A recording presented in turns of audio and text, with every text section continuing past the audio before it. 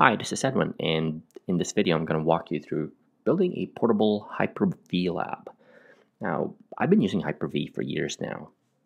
In fact, I loaded up Windows Server 2008 on my laptop so that I could you know, add Hyper-V role on top of it. That's primarily because I do a lot of presentations and test a lot of configuration. Right now I'm using the Gigabyte BRIX Pro Kit. It's a mini barebone PC, and since I already have my SSD and my 16 gigabyte memory modules, I figured, well, might as well make the most out of it. It's a, it's a Core i5 model that I'm using. After putting in all the parts, you know, I took a screenshot of the cross section, but let's move past the hardware side of things. Let's go to Windows Server 2012 and start configuring it. So I'm going to connect via remote desktop to my machine. It's a it's a vanilla install. I've installed Windows Server 2012 R2 on this machine. That's all I have at the moment. Now, just to show you a couple of things that I did after installing Windows Server 2012. I'm just going to open up the uh, server properties. Now, you'll probably notice that I didn't even bother renaming the machine, but that's totally up to you. You can name it to something meaningful so that you could easily identify it on your network after installing Windows Server 2012 R2, the first thing that I did was to enable remote desktop.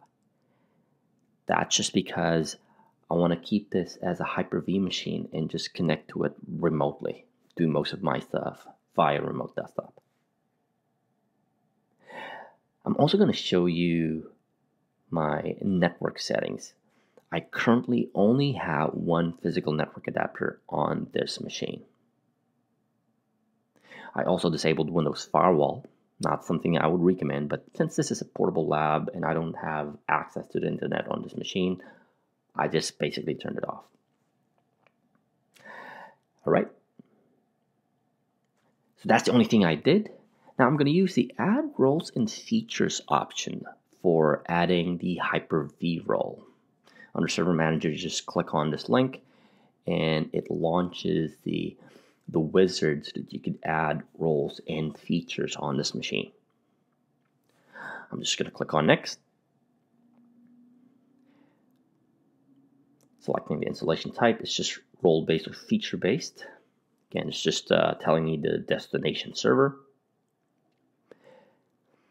I'm going to select the Hyper-V role. Now, when you click on this box, it's going to prompt you to install all the other things that come with it, and that includes the management console, the Hyper-V GUI management console, and all the PowerShell modules that come with it. So just click on Add Features. I'm just going to click on Next after this. Now, I basically added an additional role or feature for this, and it's the fail over clustering feature. Now, similar to the Hyper-V role, when you click on this, it's going to prompt you for the other options that come with this feature. Now, keep in mind, this is not a clustered setup. It's a standalone machine, and I don't intend to make this a clustered installation. I'm going to explain in a future video why I'm doing that. Click on the Add uh, on create virtual switches, notice that it prompts me for the existing network adapter that I have. So I'm just going to select that. Click on next. Now, like I said, I'm not going to be clustering this setup and I'm not going to be using live migration. So I'm just going to ignore that and click next. Once that's done, I'm just going to select restart the destination server, which means after all the installation is done, it's going to automatically restart the machine. And again, I am simply installing the Hyper-V role and a failover clustering feature. Again, keep in mind, I'm not going to cluster this machine, but I just need some of the features for uh, from failover clustering for the things that I'm going to do with this. So I'm just going to speed it up Now that the installation is done, I can just click on this know, after everything is done, machine rebooted.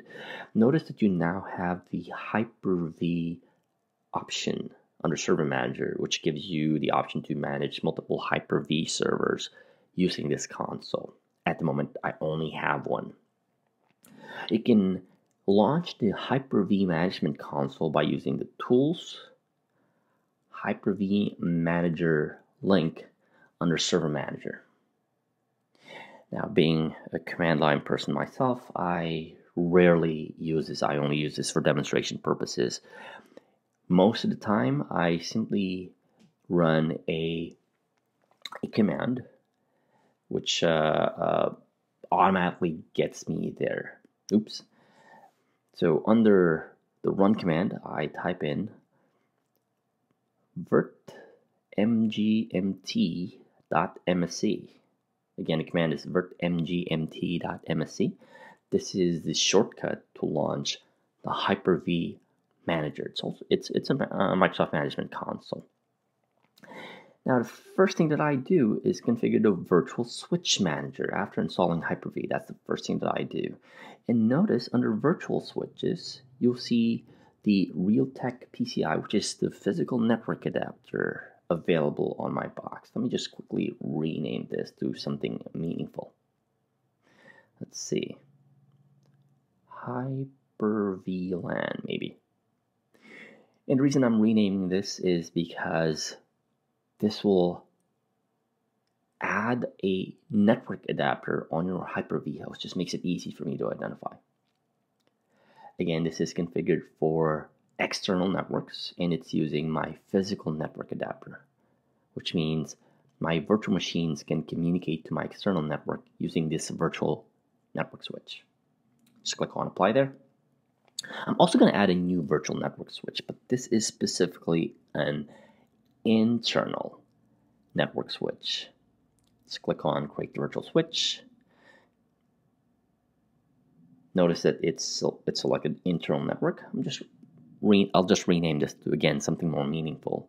And the purpose of this virtual network switch is that so all my virtual machines can communicate with one another and that my Hyper-V host can also communicate with my VMs. Again, internal network is what's selected based on my initial selection. And I'll click on apply. I always have at least two virtual network switches configured for my Hyper-V host. And just to show you um, what that did to my network adapters, I'm just going to click on the adapter settings. Notice that I now have three compared to just one when we started. Ethernet, which is my Realtek PCI GBE family controller, which is my physical network adapter. I'm just gonna I'm just gonna rename that to let's say um, something like physical WAN to represent my physical network adapter. Notice those two network adapters, which were basically the Hyper-V virtual switch that I configured earlier. Again, just to make sure that I'm renaming them properly to correspond to the names of the virtual switches on my Hyper-V manager. Rename that. And just to show you how the whole networking thing works, I'm just going to open up a command prompt. typing ipconfig. Now, if you look at my two network adapters, Hyper-V internal does not have an assigned IP address, whereas my Hyper-VLAN, which is the virtual network switch that corresponds to my physical network adapter, has an IP address that matches my external network. And what I'm going to do is I'm going to assign a static IP address for my Hyper-V internal network adapter on my Hyper-V host. Assign an IPv4 IP address I'll probably use the 172 network subnet. 172.16 and then just use the default subnet. And click on OK. So basically, my Hyper-V host will have that IP address and just validate that specific IP address that I created. Now my Hyper-V internal network adapter on my Hyper-V host has that IP address, which means every virtual machine that I configured with that IP address can communicate with my Hyper-V host. That's just it for my Hyper-V networking. So that's how I configure my Hyper-V lab with all the network configuration come with it. Hope to see you in the next video.